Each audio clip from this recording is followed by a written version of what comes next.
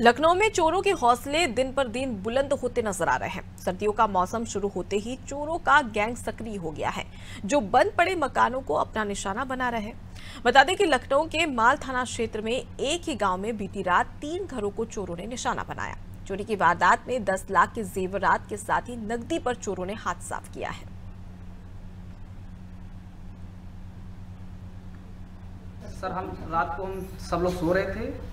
तो हमारा जो डोर लॉक लॉक कर दिया गया। और हमारा भाई जो है, अपने रूम में लेटा हुआ था।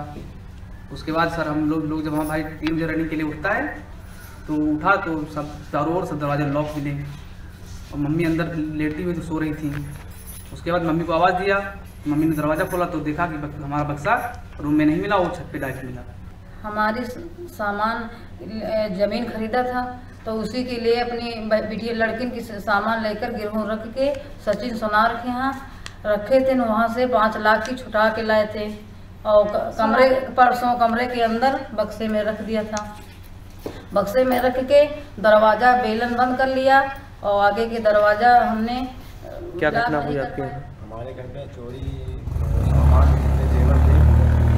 पायलें पायल जेवर और सोने की कील और तीन हज़ार रुपये और जवाब हमारे कसम चालीस पैंतालीस हज़ार का हुआ। है